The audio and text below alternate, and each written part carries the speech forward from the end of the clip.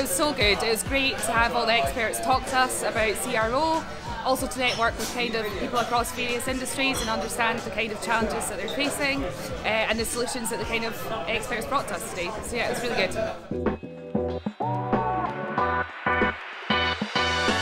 Oh, 100% do it. It's great to meet, yeah, really interesting people and um, yeah, lots of key takeaways that I can take back.